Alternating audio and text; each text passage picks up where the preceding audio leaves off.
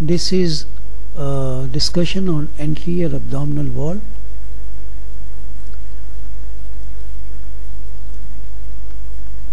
Anterior abdominal wall.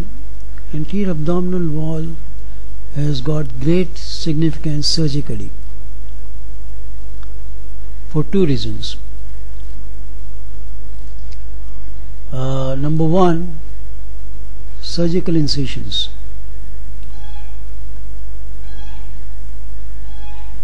for an access to the inside of the abdomen are placed on anterior abdominal wall. And the second importance is regarding hernias. And mostly groin hernias. Majority of them are in the uh, lower abdomen. So let's discuss the, some surgical aspects of uh, anterior abdominal wall. Anterior abdominal wall consists of muscles. Uh, these are rectus abdominis.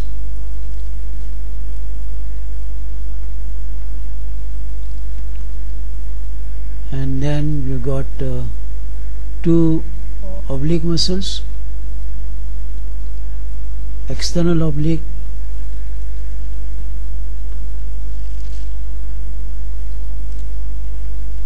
and internal oblique.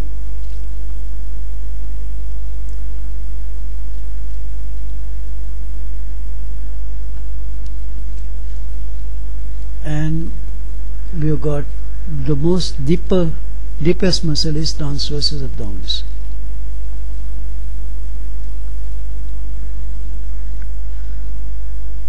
now this is the line drawing of the abdominal abdomen anterior abdomen.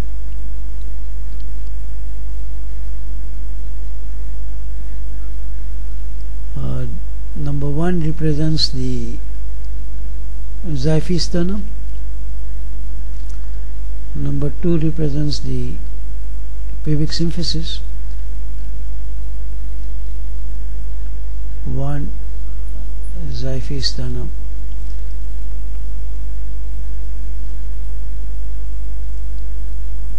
number two is midline pubic symphysis.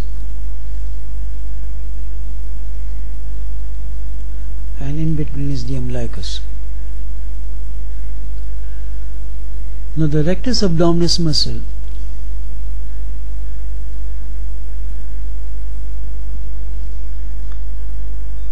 uh, is placed longitudinally along either side of the midline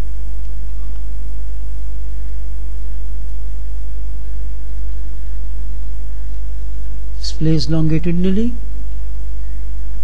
along either side of the midline. And this takes origin from the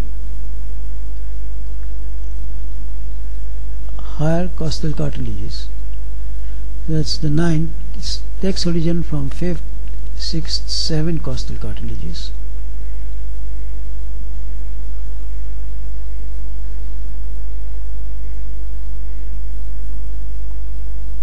takes origin from here.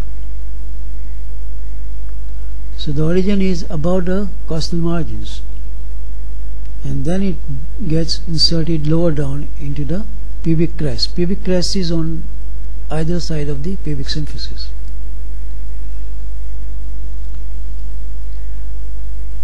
The external oblique internal oblique transversus abdominis they are placed on the lateral side mid middle of the abdomen is occupied by longitudinal uh, rectus abdominis. External oblique uh, takes origin uh, from the higher ribs and it's an oblique structure. It goes something like this. Uh, takes an oblique course and gets inserted into the middle linea alba whereas internal oblique takes origin from lower side inguinal ligament, lumbar fascia and goes higher up. So oblique.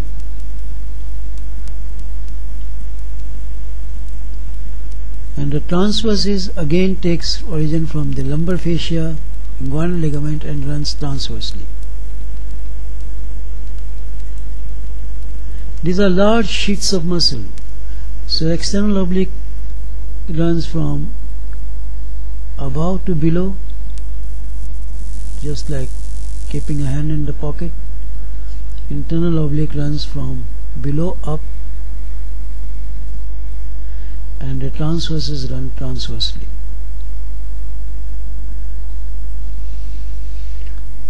Now let's consider this uh, rectus abdominis.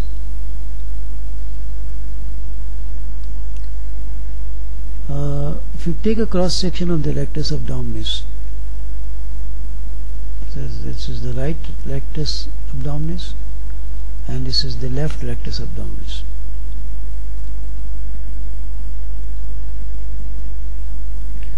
The rectus abdominis is covered by anterior rectus sheath which dips down in the middle and covers the other side and by posterior rectus sheath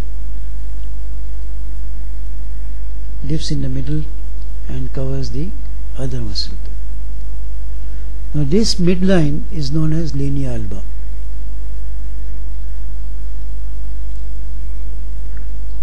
White line and there is no muscles between here. So this is the midline. This midline is linea alba.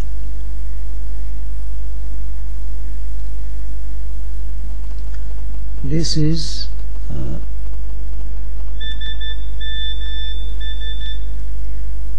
linea alba. This arrangement of the rectus sheath is true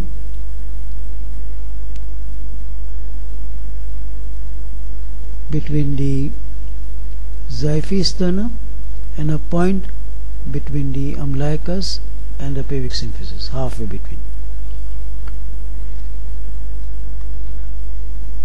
This posterior rectus sheath is not present a point between the umbilicus, halfway between the umbilicus and the pelvic symphysis. Somewhere over here.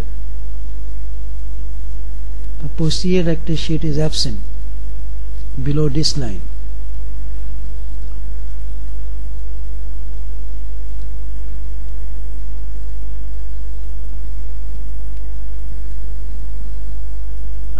if you take this rectus muscle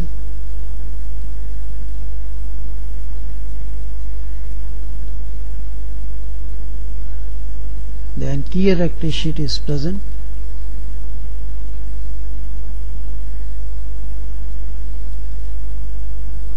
but there is no posterior rectus sheath below the pouch of Douglas and all the external oblique uh,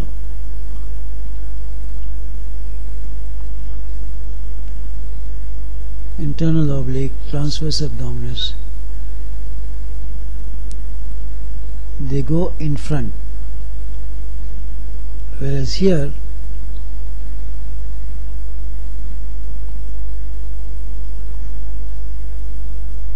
external oblique, internal oblique, transverse abdominis,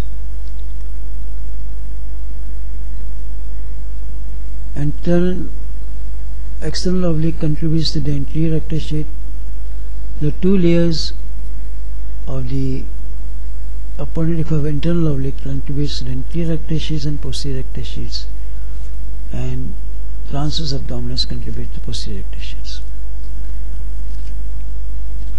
The innervation of the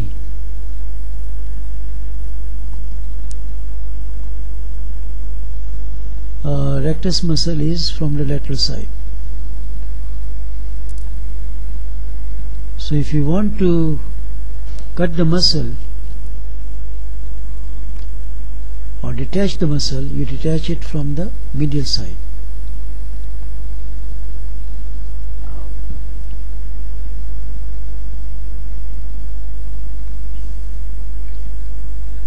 keeping the innervation intact